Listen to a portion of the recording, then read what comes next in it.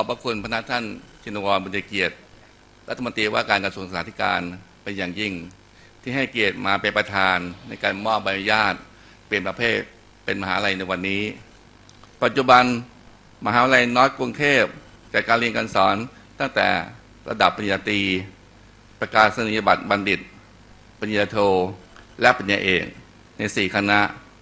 โดยมีจำนวนนักศึกษาทั้งสิ้น 3,832 คน ด้วยความมุ่งมั่นในการพัฒนาบัณฑิต และด้วยปริมาณที่เพิ่มขึ้นในปีการศึกษา 2553 มหาวิทยาลัยน้องเทพจึงได้ขยาย จัดการเรียนการสอนเพิ่มแห่งที่สองขึ้น บนเนื้อที่ 120 ไร่ณอุยเขตลังสิตโดยมีการเปิดสอนควบคู่กับสถานที่ตั้งแห่งเดิม ที่วิทยาเขตสะพานใหม่ และท้ายนี้กระผมขอขอบพระคุณ ท่านรัฐมนตรีว่าการกระทรวงศึกษาธิการ ท่านผู้มีเกียรติทุกท่านที่ได้มาร่วมการรับมอบใบอนุญาตเปลี่ยนประเภท เป็นมหาวิทยาลัยนอกกรุงเทพในวันนี้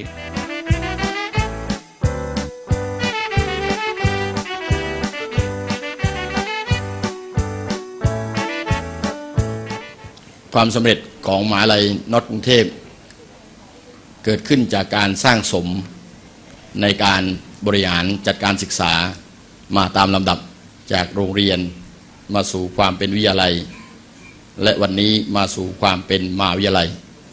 ดังปณิธานของมหาลัยที่ได้มีความชัดเจนในการที่จะมีส่วนร่วมกัน ในการจัดการศึกษาให้มีคุณภาพ นั่นเป็นการสะท้อนให้เห็นว่า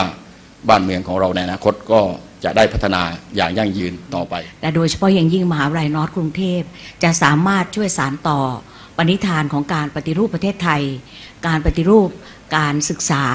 ให้สำเร็จลุล่วงไปตามที่สถาบันเอง แล้วก็ชาติบ้านเมืองมีความต้องการ มีความตั้งความหวังไว้กับมหาวิทยาลัยเอกชนค่ะ ผมขอยืนยันอีกครั้งว่า ทุกๆ คนที่มีส่วนร่วมในการในมหาวิทยาลัยนอร์ทกรุงเทพ จะไม่หยุดยั้งที่จะพัฒนาให้มหาวิทยาลัยก้าวหน้าอย่างยิ่งขึ้น ต่อไปทั้งด้านการเรียนการสอน การอบรมบ่มเพาะนักศึกษาของเราให้เป็นคนดี และเป็นคนเก่งของสังคม ตามนโยบายของรัฐบาล ท้ายนี้ผมขอขอบพระคุณทุกท่านที่กรุณาให้เกียรติมหาวิทยาลัยนอร์ทกรุงเทพในวันนี้อีกครั้งหนึ่ง ขอขอบพระคุณครับ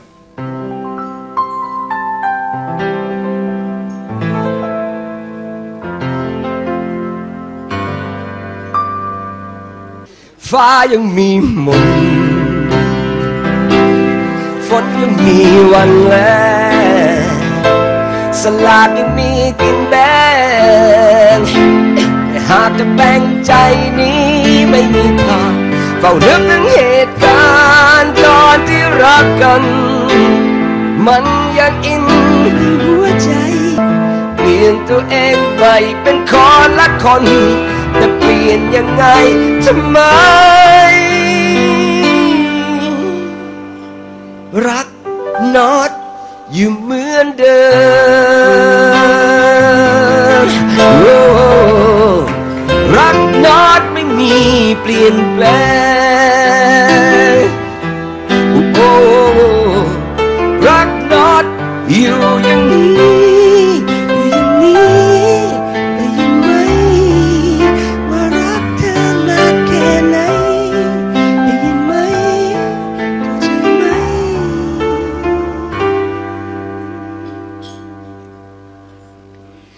รั